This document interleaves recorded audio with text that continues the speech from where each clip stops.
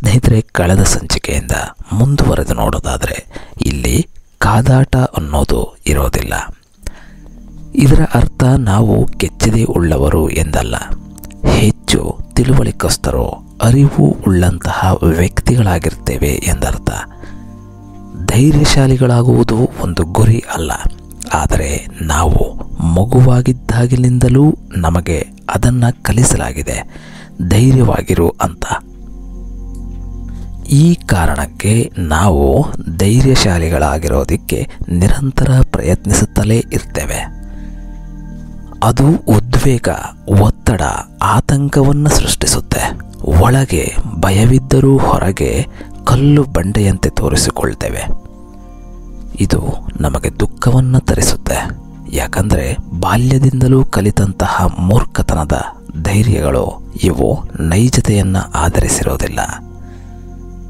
ವೃಕ್ಷದಲ್ಲಿನ ಪುಷ್ಪ ಎಲೆಗೆ ಜೋರಾಗಿ ಗಾಳಿ ಬಂದಾಗ ಅಲ್ಲಾಡಬೇಡ, ಧೈರ್ಯವಾಗಿರು ಎಂದು ಪೋಷಿಸಿದರೆ ಅದು ಹೇಡಿತನವಾಗುತ್ತೆ.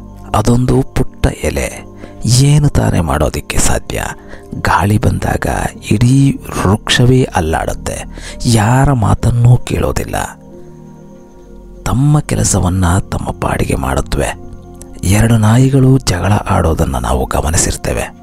ಒಮ್ಮೆಲೆ ಜಗಳ ಶುರು ಮಾಡೋದಿಲ್ಲ. ಅವು ಅಣಕಿಸುತ್ತವೆ ಎರಡೂ ಬೋಳುತ್ತವೆ ಇದರ ಅರ್ಥ ಯಾರು ಬಲಶಾಲಿ ಅಂತ ತೀರ್ಮಾನಿಸೋದಿಕ್ಕೆ. ಯಾಕಂದರೆ ಈ ಮೂರ್ಖತನ ಅದನ್ನು ಮನುಷ್ಯ ಮಾಡ್ತಾನೆ.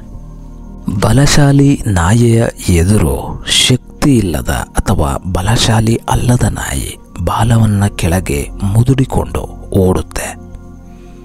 ಅಲ್ಲಿಗೆ ಮುಗೀತು. ಸುಮ್ಮನೆ ಕಾದಾಟ ಯಾಕೆ?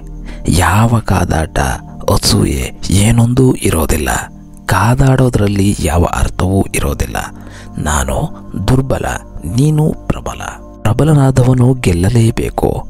ಪ್ರಮುಖ ಸಂಗತಿ ಕಳೆದು ಹೋಗಿದೆ. ಆತ ದುರ್ಬಲ ಎಂದಲ್ಲ. ಇದರ ಅರ್ಥ ಆತ ಬುದ್ಧಿವಂತ.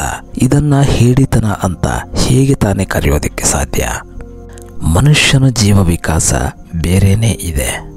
ಆತ ಸಾಕಷ್ಟು ವಿಚಾರದಲ್ಲಿ ಅಂಟಿಕೊಳ್ತಾ ಹೋಗ್ತಾನೆ. ನಾವು ದುರ್ಬಲರು ಅಂತ ತಿಳಿದ ಮೇಲೂ ಸಹ ಅಲ್ಲಿಂದ ಹಿಂದೆ ಸರಿಯೋದಕ್ಕೆ ಭಯ ಪಡ್ತೇವೆ ಕಾದಾಡದೇ ಇದ್ದರೆ ಜನ ನಮ್ಮನ್ನು ಹೇಳಿ ಅಂತಾರೆ. ಇದರಿಂದ ಕಾದಾಡಬೇಕು. ನಂತರ ಪೆಟ್ಟು ತಿಂತೇವೆ. ಅನಗತ್ಯವಾಗಿ ನೋವನ್ನು ತಂದುಕೊಳ್ತೇವೆ. ಇದರಲ್ಲಿ ಯಾವ ಅರ್ಥವೂ ಇಲ್ಲ. ಬಲಶಾಲಿಯಾದ ನಾಯಿ ನಾನು ಗೆದ್ದೆ ಅಂತ ಬೀಗೋದಿಲ್ಲ. ಆ ವಿಚಾರ ಆ ಕ್ಷಣದಲ್ಲೇ ಮುಗಿದು ಹೋಗಿದೆ. ಯಾರು ಬಲಶಾಲಿ ಮತ್ತೆ ಯಾರು ಬಲಹೀನ ಅನ್ನೋದು ಎಲ್ಲವೂ ಆ ಕ್ಷಣದಲ್ಲೇ ಮರೆತು ಹೋಗಿದೆ. ಈಗ ಎಲ್ಲವೂ ಸಹಜವಾಗಿದೆ. ಆದರೆ ಮನುಷ್ಯ ಮಾತ್ರ ಸಂದರ್ಭಕ್ಕೆ ಅನುಸಾರವಾಗಿ ಬದುಕುವುದನ್ನು ಇನ್ನೂ ಕಲಿಯಬೇಕಿದೆ. ಸ್ನೇಹಿತರೆ, ಈ ವಿಡಿಯೋ ನಿಮಗೆ ಇಷ್ಟವಾಗಿದ್ದಲ್ಲಿ ದಯವಿಟ್ಟು ಲೈಕ್ ಮಾಡಿ ಮತ್ತು ಶೇರ್ ಮಾಡಿ. ನಿಮ್ಮ ಅನಿಸಿಕೆ ಮತ್ತು ಅಭಿಪ್ರಾಯಗಳನ್ನು ಸಹ ಕಮೆಂಟ್ ಮಾಡಿ.